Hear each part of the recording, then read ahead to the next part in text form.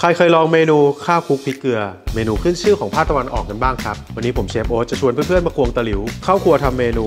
ข้าวคลุกพริกเกลือทะเลกรอบสูตรนี้พิเศษมาก จัดเต็มความอร่อยแบบแน่นจานถ้าอยากรู้จะเป็นยังไง ไปดูพร้อมกันเลยครับ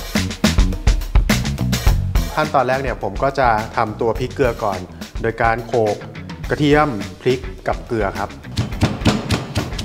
ขั้นตอนต่อไปครับ ผมจะใส่น้ำมะนาวลงไป จากนั้นก็จะใส่น้ำตาลทรายลงไปครับ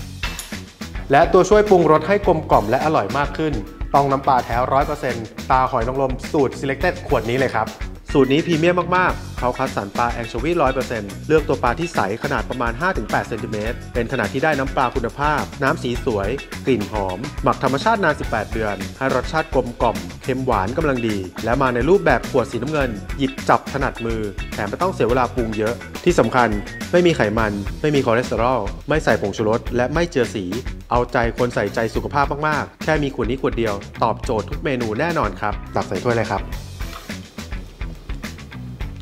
ขั้นตอนต่อไปครับ เราจะมาทำแป้งทอดกรอบกันก่อนครับ เริ่มต้นโดยการเอาแป้งทอดกรอบผสมกับน้ำเย็นไว้ครับ จากนั้นนะครับเราก็คนให้เข้ากันครับ ขั้นตอนต่อไปครับ ผมจะเอาเครื่องทะเลทั้งหมดนะคลุกกับแป้งแห้งก่อนครับ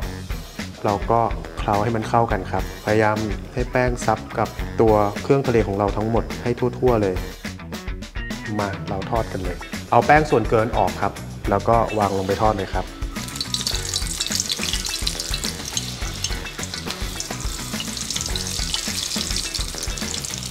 เทน้ำปลาแท้ 100%ตาหอยนางรมสูตร selected วนให้รอบๆกระทะเลยครับขั้นตอนนี้จะทำให้ทะเลกรอบของเรามีรสชาติมากขึ้น แถมหอมกลิ่นน้ำปลามากๆครับและขั้นตอนต่อไปครับ หลังจากที่เราทอดทุกอย่างเสร็จเรียบร้อยแล้ว เราจะมาคลุกข้าวกับพริกเกลือกันครับ